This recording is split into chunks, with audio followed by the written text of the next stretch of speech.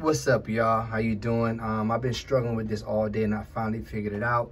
If you're using Luna or if you're using Pro Tools and you have a Mac, and um, if you have a keyboard like this, um, more than likely the number three will work for recording, to record. The number three on this side. The number three up here will not work.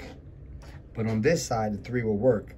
Um, also, the control in the space bar will work, um, or the command space bar will work. Same thing for PC for Mac.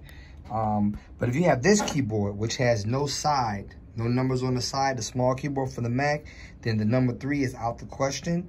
And the pound sign, the command sign, and this will not play until you change the conflicting um, shortcuts within the Mac. You gotta go to preferences like this, Go to preferences, go to keyboard,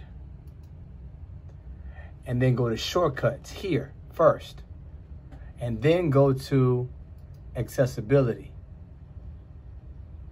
Accessibility.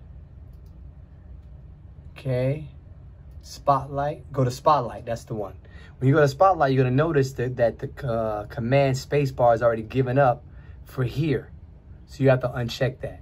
When you uncheck it, now it frees up um, the key command so you can actually use it in Pro Tools and or Luna. Now that's fixed. That's how you fix it. All right, hope this helps. I'm gonna make a whole bunch of videos uh, for Luna because um, I've been trying to find a bunch of stuff and I can't really find it because Luna is very new. So everything that I run into a problem with that I that I find a solution for, I will upload it. So please subscribe to my channel um, to get those um, exclusive uh, videos. Peace and blessings.